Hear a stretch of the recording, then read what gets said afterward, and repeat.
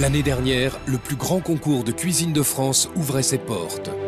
Top Chef.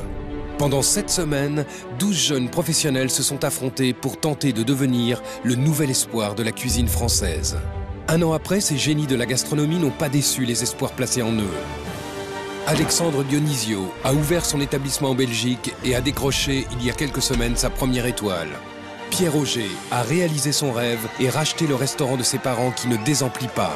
Et Romain Tichenko, le grand gagnant 2010, a vécu une année extraordinaire. Après avoir été salué par la presse et la critique, il projette d'ouvrir son propre restaurant à Paris grâce aux 100 000 euros remportés. L'année dernière, on a été bluffé par le niveau des candidats. Cette année, le gagnant, il faudra qu'il soit créatif, qu'il soit technique et qu'il nous donne de l'émotion. Le niveau, il faudra qu'il soit là. Cette année encore, porté par l'engouement suscité par le premier concours, plusieurs milliers de jeunes professionnels se sont présentés au grand casting national avec une seule idée en tête devenir la prochaine étoile de la cuisine française. Dès l'instant où j'ai vu Top Chef, je me suis dit cette émission elle est pour moi. J'aimerais y participer, je vais me donner les moyens d'y participer. Et voilà, aujourd'hui je suis là et je suis, je suis fier d'être là. La cuisine c'est ma passion, j'adore ça, je suis prête à tout donner. C'est la chance d'une vie, c'est la chance de réaliser un rêve, ça c'est vraiment le rêve de même.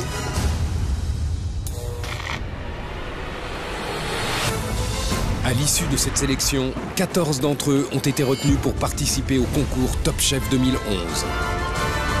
Il y a un titre prestigieux à la clé et 100 000 euros.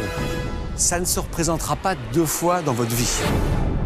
Pour les départager, un jury d'exception. Thierry Marx. Ce chef connu dans le monde entier met des moyens high-tech au service des produits et des saveurs. Donc j'ai un gâteau chaud au chocolat sans cuisson. Là, vous avez une meringue séchée par le froid. Sa spécialité, la cuisine moléculaire. Christian Constant, chef de file de la cuisine traditionnelle, il a dirigé de main de maître Grand Palace et Maisons Étoilées. Aujourd'hui, il est à la tête de trois restaurants. Viens ici, toi aussi. Viens ici. Voilà, et tu reviens de suite, hein. C'est toujours animé par la même flamme qu'il porte haut les couleurs de la cuisine française. Jean-François Piège, ce chef parmi les plus talentueux de sa génération incarne le renouveau de la cuisine classique. Deux cœurs de frisée à suivre une côte d'agneau rosée une Saint-Jacques. Il a ouvert récemment son restaurant gastronomique où il propose une cuisine à son image, audacieuse et innovante. Et enfin, Guylaine Arabian, une des premières femmes doublement étoilées. C'est grâce à son caractère bien trempé qu'elle a su s'imposer dans cet univers d'hommes. Boudin. C'est parti T'as vu le Bronx que t'as foutu en deux minutes Crainte pour ses jugements tranchés la saison dernière, elle ne compte pas revoir son niveau d'exigence à la baisse. L'année dernière, on a eu de très très jolies choses qui sont sorties, mais cette année, je voudrais qu'elles soient exceptionnelles.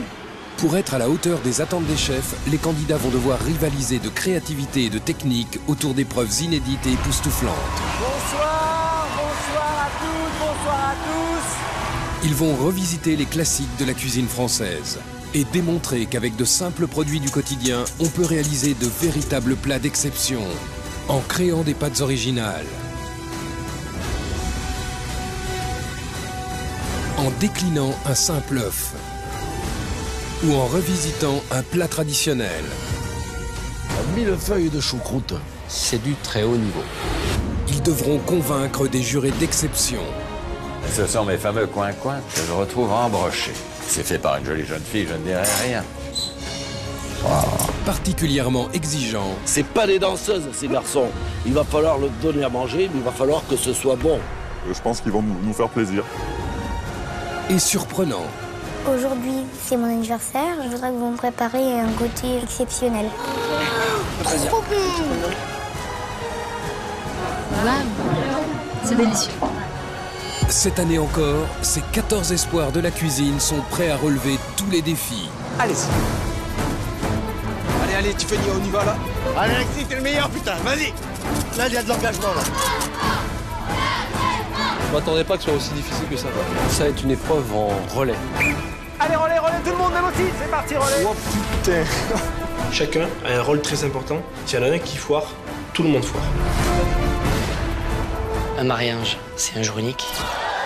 Il va y avoir 100 invités. On n'a pas le droit de se manquer.